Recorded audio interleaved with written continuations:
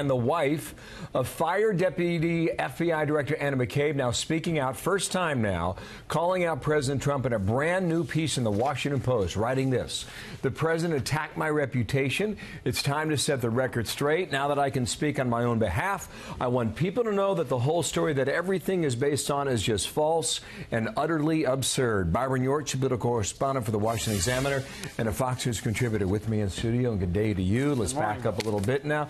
McCabe's been been fired. His wife Jill ran for state office in Virginia with a lot of money and a lot of Democratic support. She lost that office, and today we now have her first response. What do you think is in this piece? Byron? Well, the questions that were initially raised were that she ran with the response with the great support of Terry McAuliffe, who was the governor, Democratic governor of Virginia, and very close to Hillary Clinton, while her husband was involved in the Hillary Clinton email affair. Should he, the investigation, should he have recused himself from that? One of the things we actually actually learned in this that it wasn't widely known was that Andrew McCabe, along with his wife, actually met with Governor McAuliffe as she was considering running. And don't think we knew that before. But basically, she said, look, everything we talked about was about Medicaid expansion.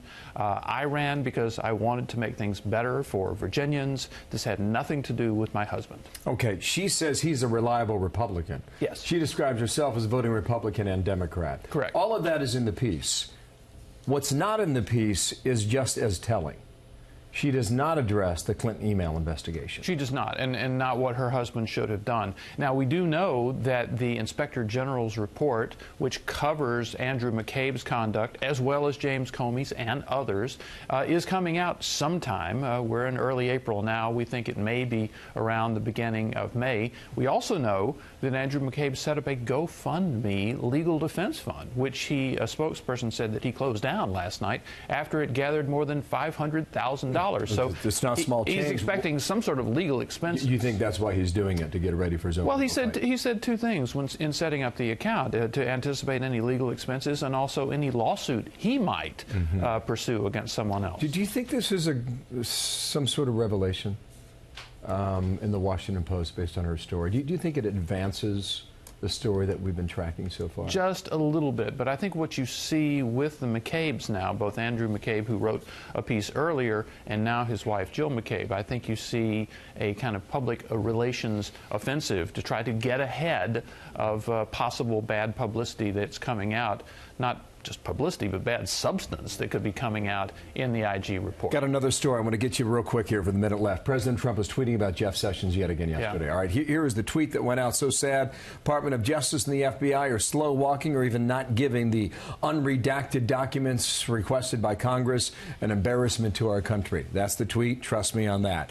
Bill McGurn writes in the Wall Street Journal, in part defending Sessions, saying this By reading the Riot Act to his reluctant FBI director and shunning the appointment of another special counsel, Mr. Sessions has rendered a service to the Constitution, to good government, and even to Mr. Trump, though he may not realize it. Perhaps even worthy of a celebratory presidential tweet. The title is Thank You, Jeff Sessions. What is there? Uh, McGurn has a point, which is that Sessions, from the president's perspective, Sessions has done two positive things. One, Sessions Sessions clearly leaned on the FBI director to be more responsive to congressional uh, investigation requests. Remember when Paul Ryan accused the FBI of stonewalling Congress? Mm-hmm. So Jeff Sessions has leaned on the FBI to put an end to that. The other thing is these, quote, special arrangement that Sessions has put together to investigate the Trump investigation. And a lot of uh, Republicans have been unhappy with that. But the man appointed to do that, John Huber, who was the U.S. Attorney in Utah, was actually a favorite of Mike Lee and Orrin Hatch, the two Republican senators there. And he has a lot of powers that an inspector general might not have. Okay, read it. Check it out in the Wall Street Journal. Thank you, sir. Thank you, Bill. Two days in a row, Byron York in New York City in person. Great nice to be here.